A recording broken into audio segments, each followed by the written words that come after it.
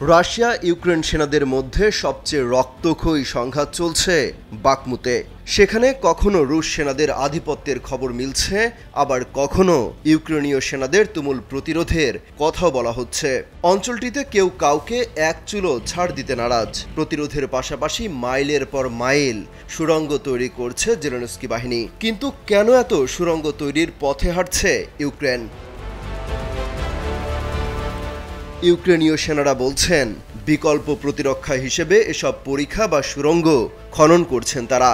রুশ সেনাদের কাছে কোনোভাবে হেরে গেলে প্রতিরক্ষার জন্য ভিন্ন পন্থা হিসেবে সুরঙ্গ খননের সিদ্ধান্ত নিয়েছে কিয়েভ। কেননা শত্রুপক্ষের নিক্ষেপ করা শেল মাটির নিচে এক দশমিক ছয় মিটার পর্যন্ত গভীরে পৌঁছাতে পারে। তাই সেনাদের নিরাপত্তা নিশ্চিত করতে এর চেয়ে গভীর পরীক্ষা খনন করতে হচ্ছে। বলা হচ্ছে প্রায় একশো মিটারের এসব ছোট ছোট সুড়ঙ্গ বৃহৎ একটি প্রতিরক্ষা লাইনের সঙ্গে যুক্ত হয়েছে। বিশেষ গাছের কাণ্ড তারের সাহায্যে একে চেয়ে বেঁধে তৈরি করা হচ্ছে সুড়ঙ্গগুলো। পরীক্ষাগুলোর ভেতরকে আরও শক্তিশালী করে তুলেছে কাদার প্রলেপ এবং টায়ার।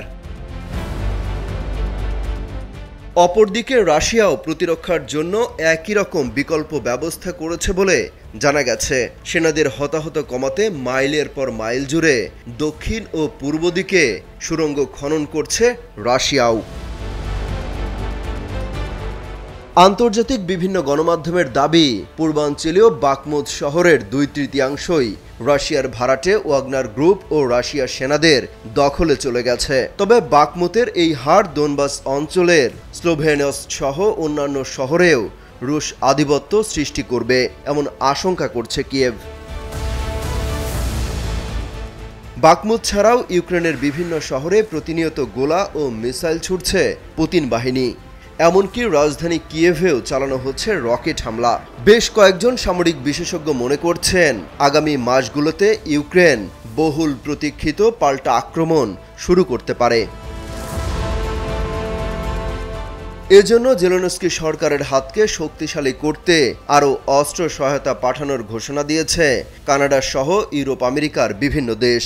এরই মধ্যে ইউক্রেনের হয়ে যুদ্ধের ময়দানে দাপিয়ে বেড়াচ্ছে পোল্যান্ডের পাঠানো অত্যাধুনিক প্রযুক্তি মিগ টোয়েন্টি নাইন যুদ্ধ বিমান। এমনকি নতুন করে কিয়েভে জার্মানির তৈরি লেপার্ড টু ট্যাঙ্ক পাঠিয়েছে স্পেন ও Belgium. Amit Hasan, Robin. Kalbela days.